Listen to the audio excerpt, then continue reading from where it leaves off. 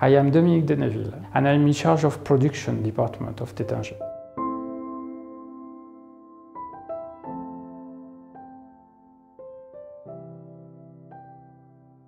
Taittinger is the own family company of champagne. It was built in 1932.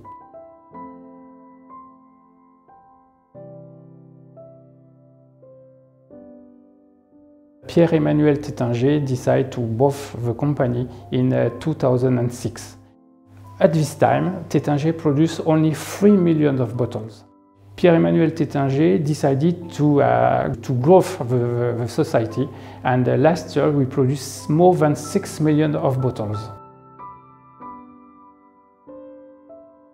So, uh, muselet is a steel cage with uh, metallical caps over tops. It's very important in the process of champagne. It's very convenient because it's very resistant. Thanks to the steel, we are able to turn it six times around the neck of the bottle. And by doing so, it's very uh, practical for champagne because it can resist to a pressure nearby more than 6 bar inside of the bottles.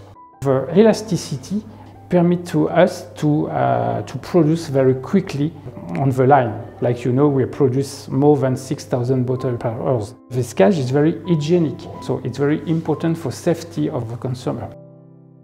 Still is using for gyropalette, for each pallet for storage the, the, the vine before labeling process. So at the different step of the, of the line, we are using the, the, the steel.